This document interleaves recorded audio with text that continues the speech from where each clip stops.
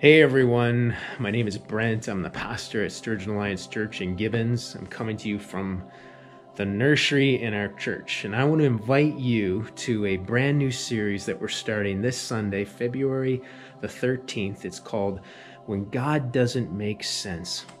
And it's a study in the book of Job, and it's going to run for six weeks starting this Sunday. The reason I'm in the nursery is because I'm reminded of this lullaby that we all know. it goes rockabye baby on the treetop.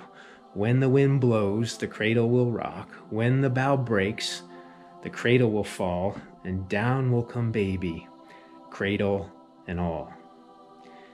You know, I think we've all had times in our life where the wind has blown and the cradle's rocked, and maybe even some of us have had times in our life when the bough has broken and down came baby, cradle and all.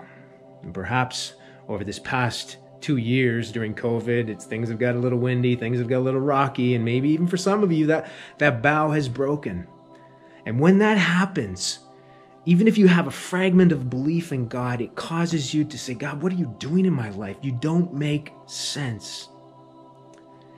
We're going to study a character in the Bible over the next six weeks, starting this Sunday, February 13th that that happened to him, you could definitely say that the bough broke in his life and down came baby, cradle and all. His name is Job.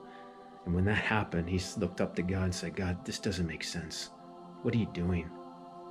Well, how do we live when the bough breaks? How do we live when God does not make sense? We're going to explore that for the next six weeks. I invite you to join us at Sturgeon Alliance Church, Sturgeon Alliance Church in Gibbons. Love to see you here at 10 o'clock. The service starts at 10 o'clock in person or online.